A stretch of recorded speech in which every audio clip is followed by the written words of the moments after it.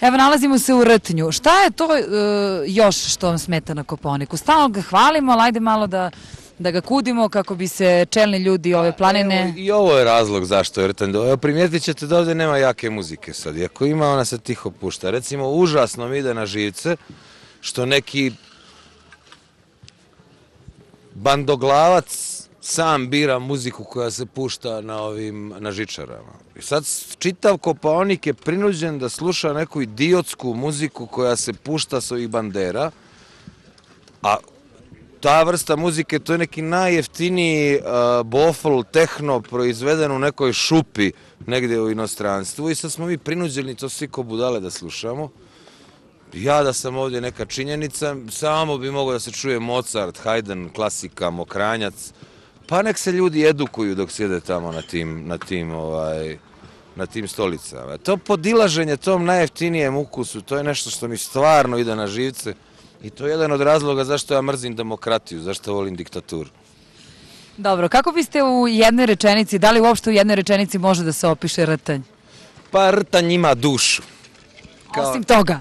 Ovaj, pa evo, pogledajte ga, to je jedna divna, starinska građevina, tu je režim uh, života kao u svakom planinarskom domu. Je tu demokratija ili diktatura? Tu je diktatura, naravno, tu su vrlo čvrsta pravila, tu postoji odbor koji to vodi, cijene su nevjerovatno pristupačne, recimo sinoć sam vidio jednu divnu stvar, sve krofne koje se ne prodaju preko dana, a koštaju 50 dinara, uveče se izlože tamo da može da uzme ko hoće da jede besplatno krofne. Eto, to je recimo rtanj.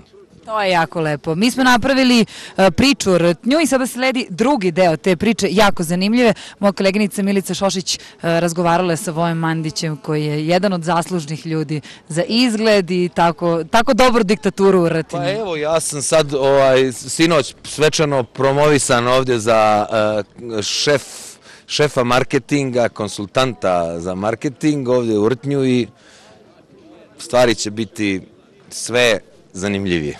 Tako je, sledi priča o Rtnju. Mnogima je verovatno nepoznato da je prvobitno ime Rtnja seljena kuća pod Malim Karamanom.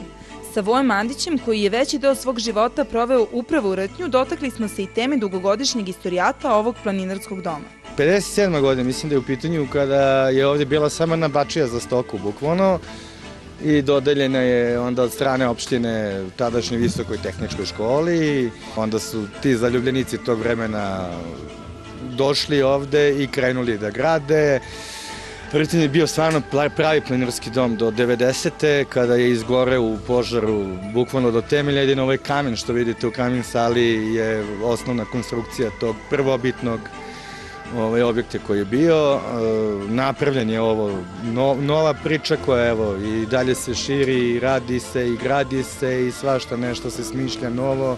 Nikad se ne miruje ovde, uvek ima posla i leti i zimi. Vlada je sa nama podelio svoje mišljenje o tome na čemu se zapravo zasniva višedecenijski opstanak i uspeh Rtnja. Dokaz da još uvek opstaje zahvaljujući svojoj nenametljivoj filozofiji i pravom duhu koji pokušavamo da održimo duhu što se tiče planine, ošte i doživljavanja planine i brige o planini i svega ostalog prepoznatljivi upravo po toj svoj, svom šarmu i, i, i svojoj priči koja je potpuno drugačija od neke opšte, da kažem, trenutno srpske priče i tih nekih standarda koji su nametnuti, a evo mi dokazujemo da ima još i tih ljudi kojima nisu bitni ti standardi, nego im je bitna ova osnova, a to je da uživaju u planini, u prirodi, u skijanju i bordu ko šta već tera i vozi onako kako treba. Šta je to što svi posetioci Kopovnika mogu da očekuju od rtnja do kraja zimske sezone? Ono na što su već navikli, znači uvek dobar duh, uvek dobri provodi, kažem uveče, e, dobra hrana, ono po čemu je rtan prepoznatljiv, znači po svojoj džakli, po krofnama svojim i svim ostalim džakonijama koje se spremaju ovde to, na to uvek mogu da računaju svi koji dođu.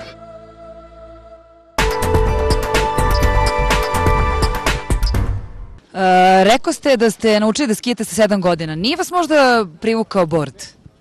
Nije. Nije, probao sam jednom malo i onda sam vidio da previše puta moram da padnem na dupe da bi ga naučio i odustao sam od toga. E, šta je lepše, jedriti ili skijati? Jedriti. Ipak. Pa da. A dobro, kako biste opisali skijanje kao šta? Šta je za vas skijanje? Pa skijanje je jedna od onih uh, meditativnih aktivnosti, isto kao jedrenje, gdje u stvari ne, jednostavno ne mislite ni na šta drugo nego na taj, na, na, na tu proceduru, jel, na taj kontinuitet nekih jednostavnih radnji i to je ono što, što, što čovjeka baca u tu meditaciju, jel, prosto danas modern čovjek vrlo teško može da isključi mozak, da ne misli ni o čemu, napunjen raznim informacijama, tako da je skijanje to. Jel pevušite dok skijate? Mislim da ne. E, volite e, jače skijanje, to jest onako ekstremnije ili lagano da se spuštate? Pa volim jedno i drugo, šta ja znam, tu kad poziram pred ovim tetkama, onda idem lagano, a ovaj, onda odem tamo na onu duboku pa se lomatam da me niko ne vidi. E, sad će naši dragi gledaci da vide miks laganog i brzog skijanja. Rambova patrola.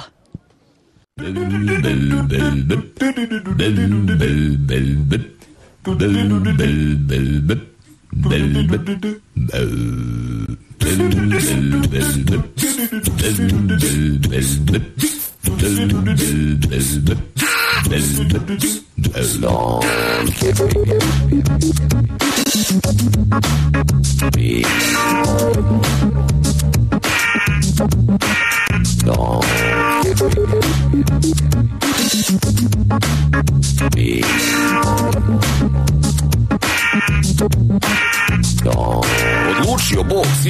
Kuvanjem da stvori Zamutio kašu, uključio ringlu, pustio da gori. Kuvarice manje zbori, da ti ručak ne zagori. Don't happy, be worry I šta sad laži, kradi, špionira I sive i lori, cijele godine šljakaj Kovo se umori, iskreno se raduj Sedmoj lebovoj kori. Don't happy, be worry Don't happy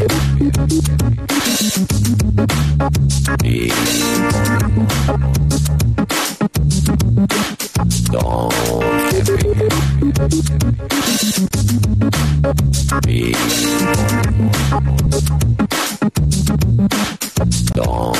Večeri se tope, ozon se troši Ameri pjevaju, aleluja, glori Kineska zastava se veselo vijori Don't happy, be worry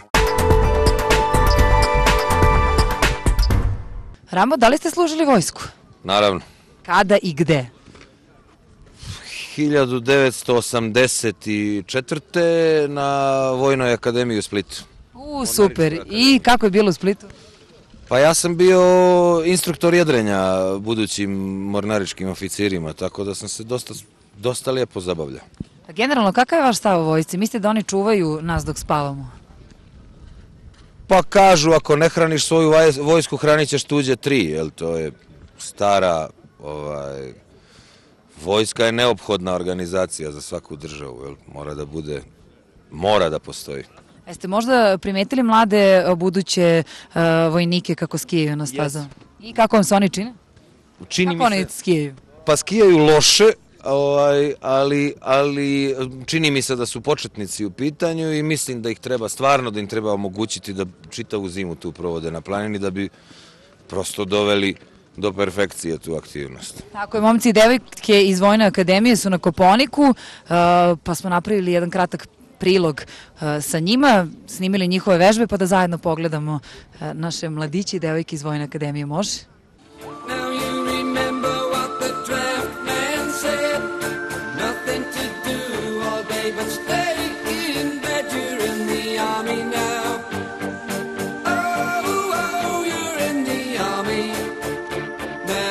Kadeti i kadetkinje Vojne i Vojno-medicinske akademije proveli su sedam dana na Koponiku stičući i obnavljajući svoja znanja u snežnim sportovima.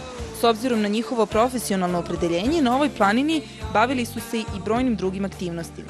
Kadeti 134. klase Vojne akademije i deo kadeta prve klase visoke, visoke škole Vojno-medicinske akademije realizuju na Koponiku obuku u zimskim uslovima. Kako ste vi generalno zadovoljni, kako su oni naučili da skije, oni koji baš ništa nisu znali?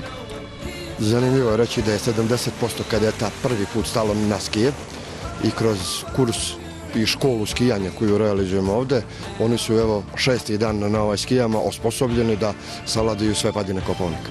Obuka realizovana u okviru početne i napredne škole skijanja prilagođena je Vojnoj akademiji te se razlikuje od tehnike koje se primenjuju u klasičnim školama. Razlikuje se u tom pogledu što je to priprema za sve one borbene radnje koje se posle e, izvode sa jedinicama kad kadeti završe postanu e, oficiri i onda sa jedinicama rade. Znači nije samo e, rad po utabanim stazama, nego je kretanje po zasnaženom terenu. Kadetkinju Milicu i kadeta Nikolu zamolili smo da sa nama podele utiske o prvim iskustvima na snegu. Dobro je sada. Jesi Tek početnik i bilo je i padova i ljutnje i svega je bilo, sad je dobro. Mislim da mi solidno ide s obzirom da sam prvi put stao na skije, snalazim se za sada dobro, instruktor je zadovoljan, tako da sam i ja.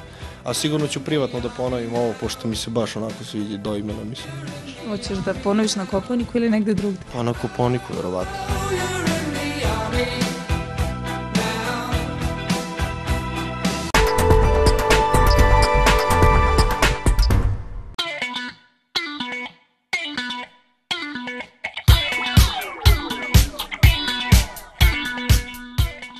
Što bre vi skijaši ne gotivite bordere? A? Pa znaš kako vidim, sad da ti kažem, ogulili su nam sve staze. Sve je led i nikakvo i onda mi mora sređujemo skije da pravimo čuda. Vi gotivite skijaše? Volim ih, okej su. Simpatični su. Ali se dopada njihov ovako lifestyle uopšte, kako se oblače, kako se Pa ne, ponašaju? naš je bolje, Zašto? definitivno. Pa što smo lepši, vitki, nismo čupavi, nosati i ostalo. Danger, danger. High voltage. When we touch and when we kiss. Danger, danger. High voltage. When we touch, when we kiss. When we touch, when we kiss. Hipotetički, dve devojke, jedna je skijašica, druga je borderka. Dobro. Sestre su bliznakinje. Koju bi izabrao? Pa pametniju. Skijašicu. Zašto? Pa nekako je stav onako bolji. Šta misliš, jel ribe više vole skijaši ili bordere? A, pa skijaše naravno. Ja mislim border. A što to misliš? Pa zato što skijaši mnogo imaju problem sa borderima, pa žene uvijek sta, sta, staju na stranu ovih slabih. Ko bolje izgleda na stazi, skijaši ili borderi ovako? Skijaš. A zašto? па затоа што сум јас скијаш, а бордери за мало еден данас да ме убие, а јанако се сви.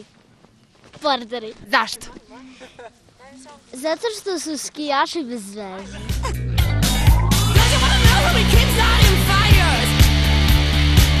It's my desire. It's my desire. Don't you wanna know how it keeps starting fires? It's my desire. It's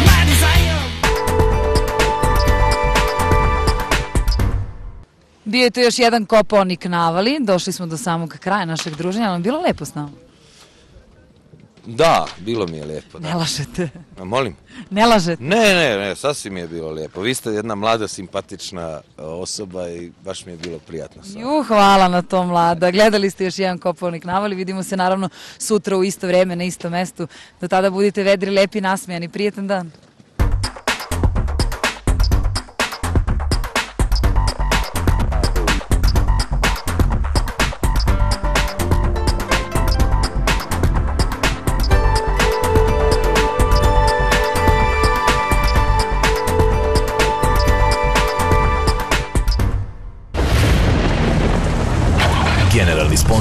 Emisije Kopaonik na Avali, Verano Group.